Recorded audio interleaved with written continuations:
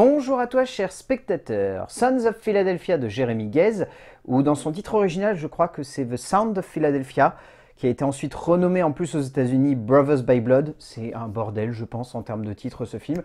Euh, c'est un projet que personnellement j'attendais beaucoup parce que Jeremy Gaze, c'est un scénariste que j'apprécie énormément, qui je trouve a pondu des scripts qui sont plus ou moins justes, mais qui ont le mérite au moins d'apporter un petit peu de nouveauté à un cinéma de genre français qui a tendance à rester enfermé parfois un peu dans sa petite case lorsqu'il veut être grand public. Et Jérémy Guez a cette manière d'amener certaines thématiques et certains sujets qui lui plaisent et qu'il touche au sein de ses scénarios. Et depuis qu'il est passé à la réalisation, je trouve qu'il le fait de manière encore plus épanouie, euh, notamment dans son premier long métrage qui était Bluebird. Et là, j'avoue que ce deuxième film, bah, rien que pour ça, ça me donnait terriblement envie. Le résumé pour faire simple, Peter et Michael sont cousins, extrêmement proches depuis que le père de Peter est mort, accompagné de près par sa mère. Les deux hommes tentent de diriger d'une main de fer la ville de Philadelphie, mais leur règne semble toucher à sa fin. Je trouve que le long métrage que nous offre ici Jérémy Guez est un poil moins subtil que son premier. Euh, je trouve que le minimalisme avec lequel il avait tendance à enfermer ses personnages dans Bluebird donnait un certain cachet à l'œuvre et permettait surtout à cette histoire qui pouvait sonner comme cliché et grossière d'avoir un vrai ressort dramatique qui poussait le spectateur à vraiment apprécier ses personnages.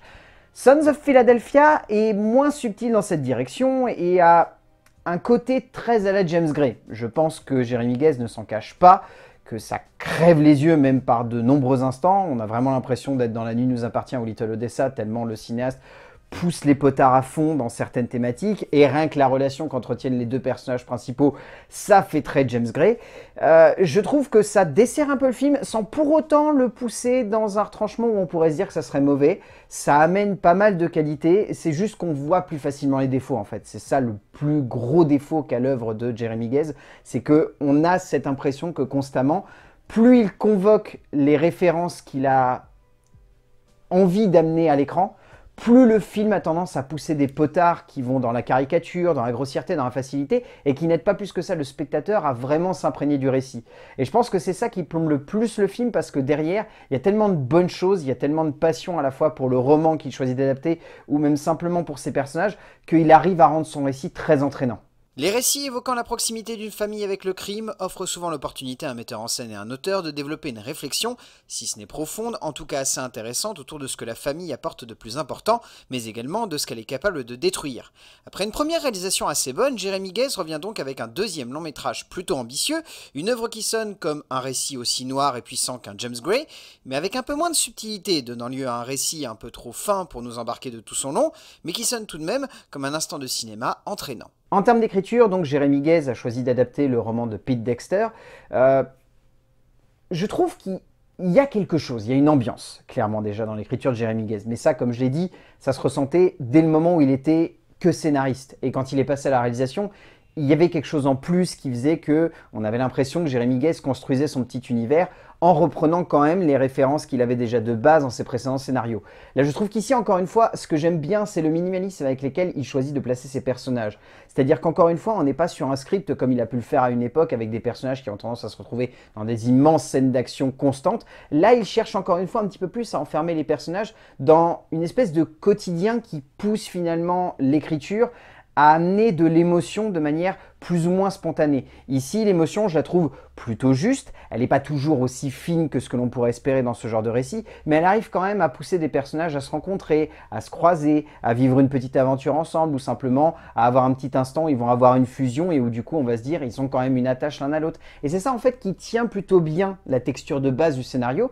C'est juste que je peux comprendre qu'il y ait des gens qui n'aiment vraiment pas le film parce qu'il y a tellement de minimalisme finalement dans l'écriture que Jérémy Guez a presque tendance à ne pas proposer plus que ça de grosses séquences au sein de son film. C'est plus un, enchaînement de petits bouts de vie qui vont amener des personnages à prendre des décisions et qui vont les pousser dans une direction où potentiellement ils vont agir comme ça ou comme ça. Et ça veut questionner la barrière du bien et du mal au sein d'un personnage qui est clairement du mauvais côté et qui est en train de prendre conscience que ça peut lui briser la vie, finalement, de d'acheminer son frère euh, de sang dans cette direction. Enfin, c'est vraiment un scénario qui est très très très petit et qui a pourtant envie de raconter plein de choses. Et je pense que c'est ça le gros défaut ici de Jérémy Gaze. Il est évident que ce que Gaze a gardé du roman de Dexter, c'est avant tout la base de composition des personnages, et finalement, ne leur laisse pas grand chose pour évoluer ensuite, donnant un peu l'illusion que l'ensemble du scénario repose uniquement sur la relation entre Peter et Michael, et c'est dommage. Dommage car en soi le personnage de Peter est bien écrit, et donne lieu à un paquet de dialogues et de séquences intéressantes, mais où le reste, notamment sa relation avec son cousin, est totalement passé à la trappe de l'auteur, laissant un peu perplexe du coup le spectateur et donnant surtout l'impression que ces personnages n'ont jamais eu une véritable proximité. En termes de mise en scène, je trouve que le cinéaste a réussi à équilibrer quand même pas mal de choses. Je trouve que visuellement, c'est plus intéressant que Bluebird. Il y a clairement beaucoup plus de choses à ressortir de cette mise en scène. Ce qui est pour moi le plus gros défaut, c'est comme j'évoquais au début, cette sensation qu'il convoque un petit peu trop le cinéma de James Gray, que ce soit dans la manière de filmer la ville, que ce soit dans la manière de mettre en relief les personnages, que ce soit dans la manière de construire la relation qu'ils ont tous les deux ça fait beaucoup trop euh, La nuit nous appartient, Little Odessa. Là-dessus, je ne peux pas pardonner ça à Jérémy Gaze. Il est clairement allé pomper du côté du cinéaste américain, et je pense qu'il aurait fallu le faire, mais peut-être de manière plus subtile.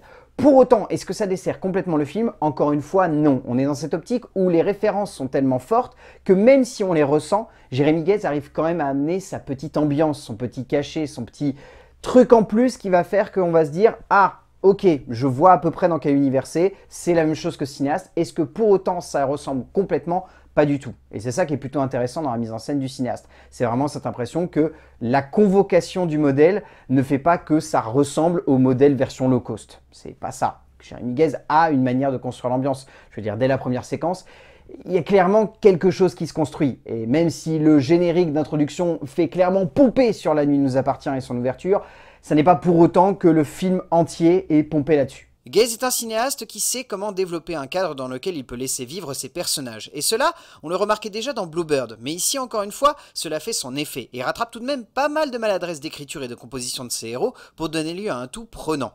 On ne ressort pas non plus totalement passionné et envoûté par le métrage, qui sonne tout de même comme une version moins subtile et plus bâtarde de Little Odessa, mais tout de même, il y a un esprit, une forme, une certaine justesse dramatique qui emmène la mise en scène et permet au film d'avoir un vrai impact sur nous malgré ses maladresses évidentes. En termes de casting, je trouve que déjà Joel Kinnaman est plutôt bon ici, dans le rôle de Michael. Il arrive à amener ce personnage dans un retranchement où on sait qu'il est antipathique et où pour autant on a quand même envie qu'il y ait une bonne attache qui se fasse avec Peter.